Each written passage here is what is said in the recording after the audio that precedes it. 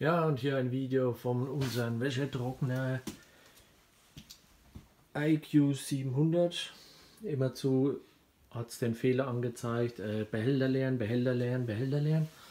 Jetzt habe ich da so ein schönes Video angeschaut vom Servicetechniker, da hat er gezeigt, wie man den öffnet. Das da ist der Wasserstandsgeber, hat immer angezeigt, Behälter voll nach ein paar Minuten. Ja, und man sieht, ne, also dass der das angezeigt hat, ist aber kein Wunder. so verdreckt wie der ist der Geber, den mache ich jetzt sauber. Und dann sollte das wieder funktionieren. Und natürlich da drin, wenn man da reinguckt, bei der Pumpe ein Flusensumpf.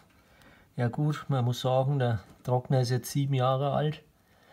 Der hat seinen Dienst eigentlich getan, aber das kann er noch kann er noch ein paar Jahre machen. Wenn der Flusensumpf außen ist, dann muss er wieder laufen.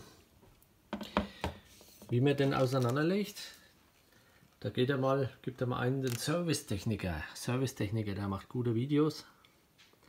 Und jo, wie schon gesagt, das ist kein Wunder, dass er das angezeigt hat. Behälter voll, Behälter voll. Alter, da hängen ja die Flusen dran, du. Naja, sieben Jahre, ne? sieben Jahre Trockner mit zwei Kindern, da wisst ihr, was los ist.